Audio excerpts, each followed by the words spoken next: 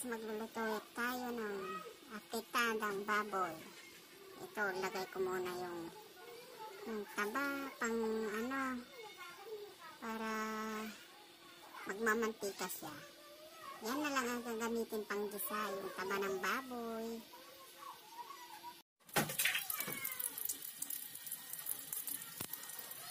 Guys, ito, ano na yung taba. Yan, yung nagmantika na siya. Yun. Ito na lang ang panggisa ko. Panggisa ko ng bawang. Bawang. Sibuyas. Haluin natin. Tapos, ang sunod yung bab baboy. Ito. Lagay ko na.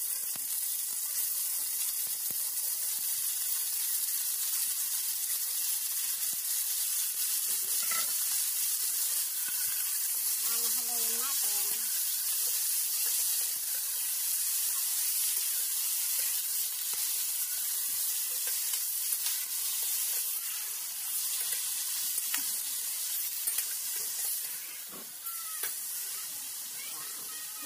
Pwede takpan.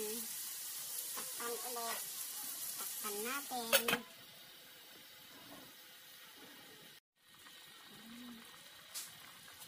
Ganyan pa kaunti.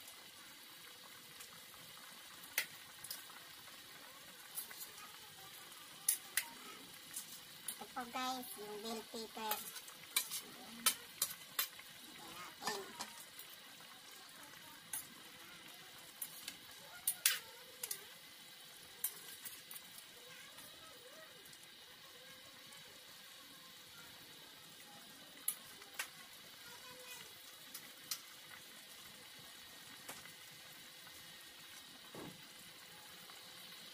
Ayan, tikman na lang.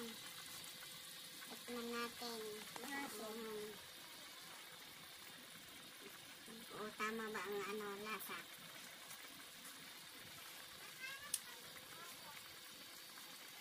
Hmm, konti pa.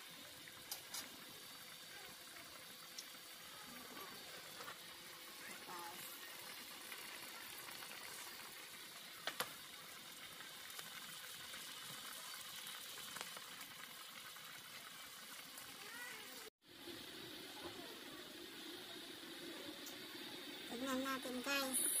Lutuin na siya. O, oh, ayan. Pwede na siyang ulamin.